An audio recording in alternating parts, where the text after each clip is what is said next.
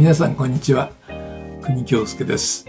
作詞家国京介の世界へようこそ。毎度のごとく自分の作品を取り上げながらどんなきっかけで作られたのか。またどんなエピソードがあるのかということをお話ししながら進めてまいりたいと思います。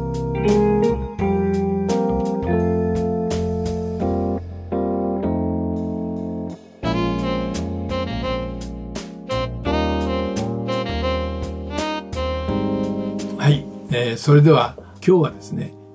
今年2020年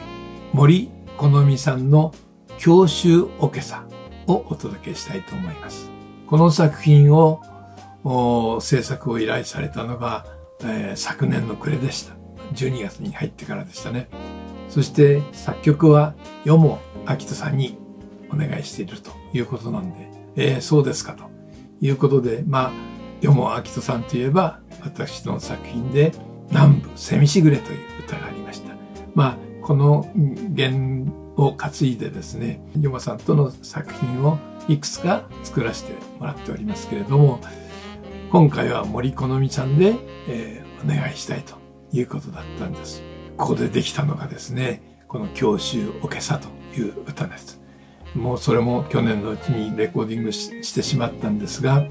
まあ、期待できるなというような皆さんの気配の中でですね、3月発売ということになりました。ところが、年が変わってみると、この新型コロナウイルスの感染というようなことから大変なことになってしまいましたけれども、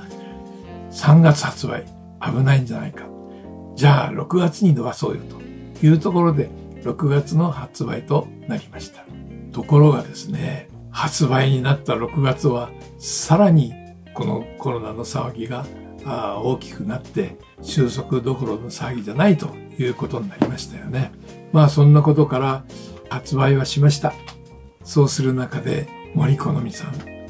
まあ事情が変わってきましたよ。大相撲の高安関と婚約をされました。そうしたと思ったら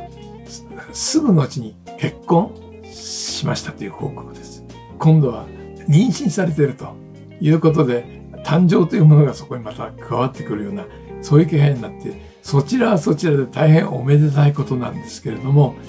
まあ、そのおめでたいということをですね、皆さんがお祝いしてくれている成果、言うなれば発売した時のヒットチャートがとてもいいんですよ。それはそれで嬉しいことなんですが、これを今度は歌手活動として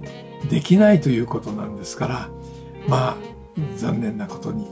なっておりますけれど。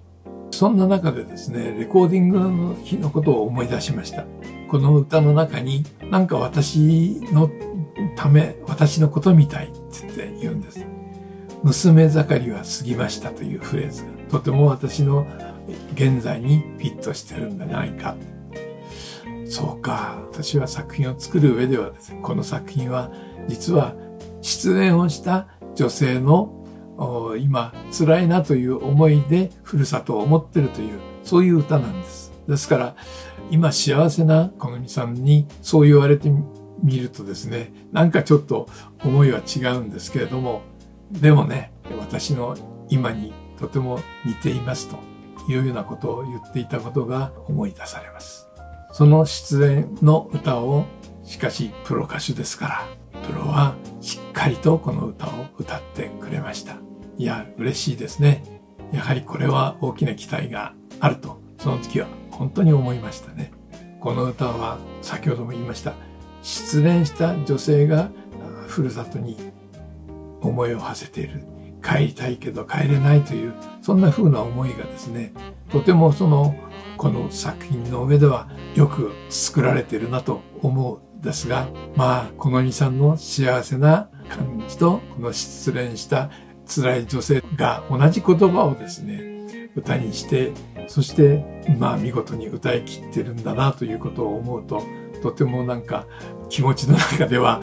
揺れ動く定まらない気持ちですが、まあ作品としてはよくできたなと思います。またこの歌の中では、佐渡は四十九里という歌の出だしがあります。これは佐渡オの中でも佐渡は四十九里と歌ってるんですが、実は皆さん、新潟と佐渡の間はどのくらいの距離があると思います？四十九里。四十九里というとですね、約200キロ近い196キロという距離があるんですね。でも、実際にはそんなにありません。86キロ、まあ21里というようなもんです。で、なぜ四十九里ということになっているのかと言いますと、昔はあの、風の力で進む艦船ですから、佐渡へ向かうのは荒波の日本海を越えていく大変命がけの苦しいそういう風な船旅だったわけです。船頭さんたちは命がけということなんですね。ですから、いつも苦しい、四十苦しいというような思いで、佐渡は四十九里というふうな心の思いをですね、距離にしてみたんじゃないかなと、距離感にしてみたんじゃないかなということを思います。教習おけさに込めた思いというのは、えー、心に憂いがある時には、ふるさとは何か帰りたい。だけど、なかなか帰れないということから、ふるさとの距離というのは遠いなというふうに思えてしまうことだと思うんです。まあ、ふるさとは遠くにありて思うものという言葉もあります。まあ、そんな風な思いで作られた歌です。えー、それではお聴きください。教習おけさです。佐渡は四十九里ふるさとは心なびけど近くて遠い傷の痛みも涙の味もわかる女になりました。おけさ踊りの三味の音が枕濡らして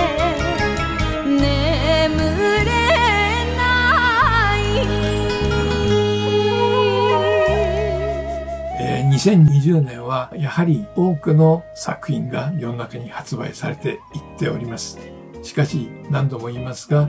このコロナ禍の中では思うような歌手活動、音楽活動ができなくなってしまったという例がたくさんあると思います。しかし、この作品はですね、なくなってしまうわけではありませんから、このコロナ禍が過ぎた、あるいは森好美さんが無事に赤ちゃんを産んでですね、また歌手活動を再開するときには、教師を今朝を生歌でぜひお聴きいただきたいなと思います。それでは今日はこれで終わります。国京介でした。